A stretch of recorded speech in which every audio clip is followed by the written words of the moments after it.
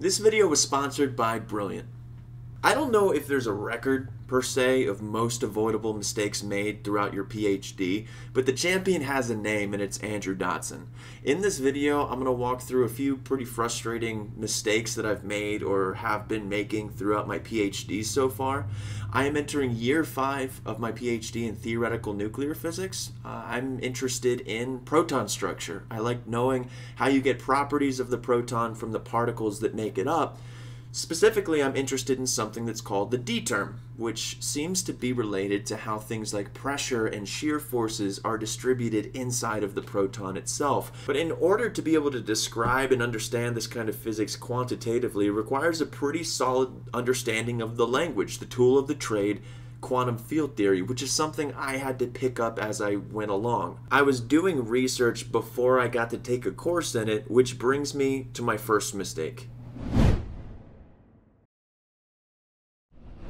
When I was a kid and I got my first job at an Italian restaurant, I spent a little over a year as the dishwasher. Didn't really see much opportunity to move up and become like a cook, which I wanted to do because dishwashing sucks. If you're a dishwasher, you're spending all of your time thinking about what you'd rather be doing. So one day, one Saturday evening, I just showed up at the restaurant. I wasn't on the schedule, I didn't clock in, and I just stayed there all night on the line, watching and learning and helping out. And then a week later, I was on the schedule not as the dishwasher, but as the person who would make the appetizers and the simpler entrees. So at 16, I kind of treated training as this thing you just had to take the initiative to do because why the hell would I get paid to do something that I don't know how to do? That's how 16 year old me looked at moving up in the restaurant industry, and unfortunately, that's how 25 year old me looked at learning quantum field theory to do my research. And surprise, surprise, an adult entering their career tends to have a little bit less free time to take initiative than a 16 year old on summer break, especially since I wasn't putting fried mozz into an oven anymore. It was having to catch up on hundreds of pages of necessary theoretical background. So I still sort of felt the same. But I had a research meeting next week, and I felt like if I spent all my time doing the reading, then I wouldn't have anything to show for it come next week. I didn't think that that counted there definitely was not enough time to do both. So rather than do what I should have done, open page one and pour myself a cup of coffee, or or better yet, gone to my advisor and asked for some clarification on how I should be budgeting my time between reading and doing research. No, no, no. Instead, I just skipped multiple chapters of Peskin and Schroeder until I got to a section that sort of looked like what I was doing and yeah, I just kind of flipped around. So, because I didn't treat my training, learning QFT as a job, I developed a whole bunch of holes in my knowledge, made a bunch of mistakes in my calculations that I've since then had to double back and painstakingly comb through. So, Treat your learning as a job. It's time you should be paid for. Your advisor would much rather pay you to learn than pay you to make mistakes where you're not even equipped to figure out why you're wrong once you know that you're wrong. Being wrong is part of the process, though. Why not just do that in a more low risk environment? Which brings us to today's sponsor, Brilliant. Now, if you don't know, Brilliant is a subscription based online learning service with dozens and dozens of courses for you to work through, with physics going from classical mechanics to special relativity. You want to learn about light? It can be a polarizing topic, but Brilliant does a great job keeping you engaged with the interactive features that allow you to simulate manipulating variables like the angle of a polarizing filter to see how it affects the intensity of light passing through it. Or, fellas, restrooms can be tricky. All I'm going to say. Now, Brilliant's courses aren't just limited to physics, they cover a wide range of areas of STEM, including computer science. Now, you can get started with a free trial by clicking the link in the description or going to brilliant.org slash Andrew Dotson. And the first 200 folks to do so will get an additional 20% discount. So go ahead and check them out. All of you who wish your professors would go through more examples in the class, now you'll have one less thing to worry about. So thanks a lot, Brilliant. Back to the video.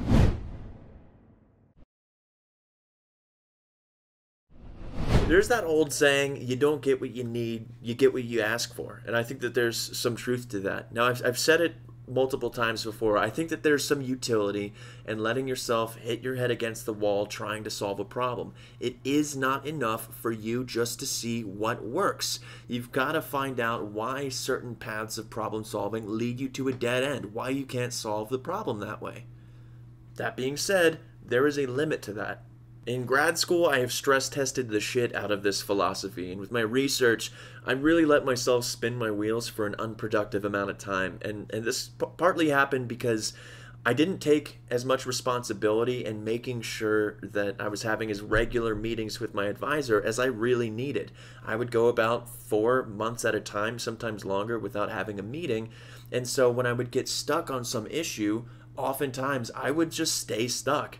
And I sure as hell paid attention to when I dig when I dug myself out, when I resolved the issue, and I didn't pay enough attention to when that didn't happen. And so I rationalized my situation by saying, uh, damn, this is unconventional, but I know it's making me a more independent researcher, which there's some truth to, but it's four months, man. Come on. Weekly or every other weekly meetings is what's normal. I was just I was just being arrogant. I mean, I wasn't turning down meetings, not that arrogant, but after a few attempts of setting them up, I was like, all right, cool, sink or swim, let's do it. I should have brought my floaties. The only problem was, so I stopped providing that feedback that I needed more help, and so I just started steering myself more off track, combing through pieces of the, the research where the answer just wasn't hiding. Anyways, one day I finally reach out to another professor and I say, hey, if you got some time this week, I'd love to pick your brain. So we set up a Zoom meeting, we talk research for an hour or so, and this crazy thing happens where now we meet almost every week.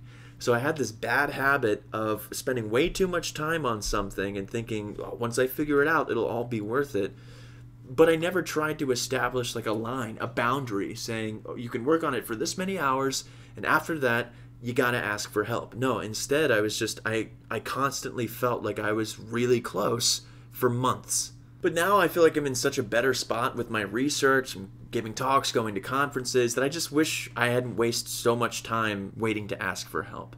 And this kind of brings up a secondary point, which is don't be in such a hurry to assume what you really need is just more time on something. Well, what does he need? He needs to have more time.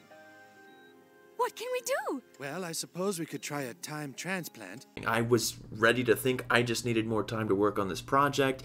You might think I just need an extension on this homework, give me more time to get it done, but you're not going to any of your professor's office hours. You're not hearing what they think the point of the homework is directly from the source, which would definitely speed up solving the problem and probably help you get it done in that time window where you otherwise think you need this extension. So I know it's uncomfortable to ask for help, but thinking the answer is always needing more time is a slippery slope.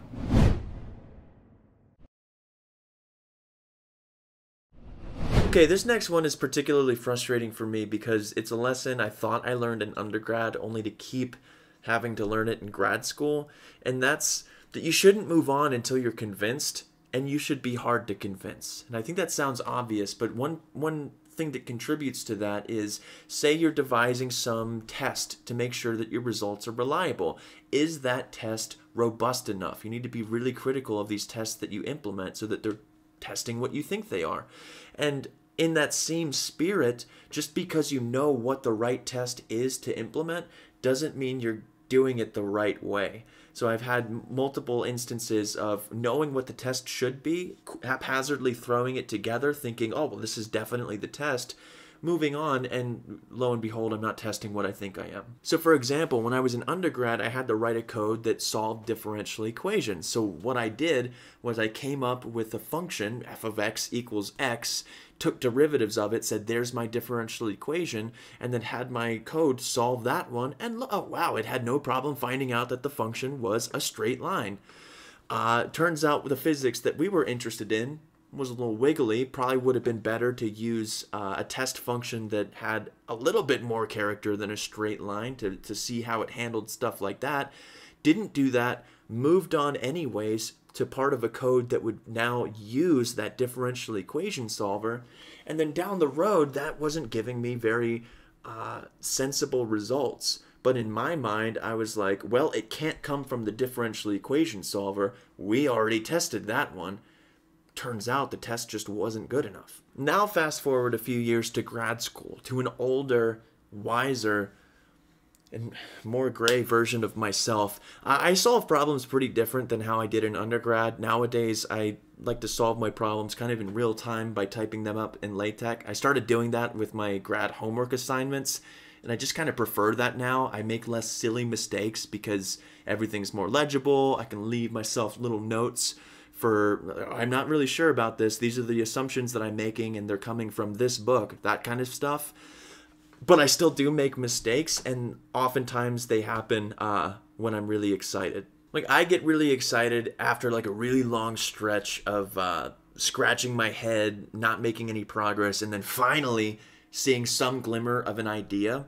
So we were stuck on this calculation not satisfying a really important requirement. At the end of a 50 page calculation, it had to satisfy, say, a plus b equals c. But what we were finding was a plus b equals c ish. Then we realized that the issues were probably because we hadn't renormalized the field. Sorry, this is going to get a little technical for a bit. Usually renormalization results in you helping cancel an infinity in some time in some sense. You don't hear too much about it only contributing a finite part.